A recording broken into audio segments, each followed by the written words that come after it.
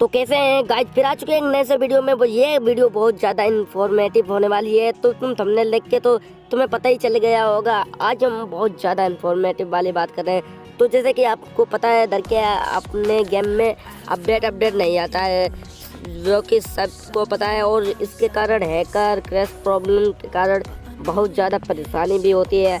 मगर वहीं पे कुछ यूट्यूबर हैं अपने, जो कि छोड़ छोड़ जा रहे हैं, जो कि गेम को सपोर्ट करने की जगह पे छोड़ छोड़ जा रहे हैं। अब अपने लोग तो ज़्यादा ही समझदार हैं, फ्री फायर में देखो, अभी दो ही चार दिन मतलब महीना हुए और ज़्यादा छोड़ के जाने लगे, मगर अपने लोग में ज़्यादा दिन टिक गए हैं लोग।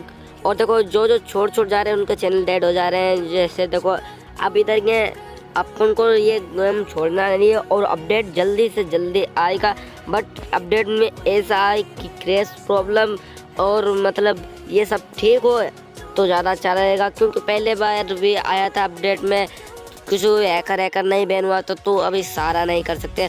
और तुम देख सकते हो, अगर ये गेम छोड़ के तुम जाओगे और दूसरे के गेम के डालोगे, पक्का तुम्हारा चैनल डेड होगा ज़रूर। जैसे अब तुम रिप्लेक्स को देख लो रिप्लेक्स नोट रिप्लेक्स को। अभी देखो, जब से गया है यहाँ से, तब से उसके 2000 सब्सक्राइबर घटे हैं, बढ़ने की तो बहुत बड़ी बात है। तो इसीलिए कहते हैं, भाई लोग, और देखो जमासू का भी सिचुएशन कुछ खतरनाक है, और देख लो चैनल भी बेचना, बेच रहा है मतलब है अपना।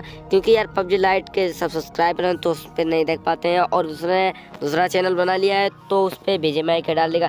अब देखो बी जे अपने अनमेन हो रहा है, इसका भी कोई पता नहीं। क्योंकि तीन ही महीने के लिए अनमेन हो रहा है, अगर बच्चे लोग फॉलो उसको करेंगे, पूरा नियम तभी हो पाएगा।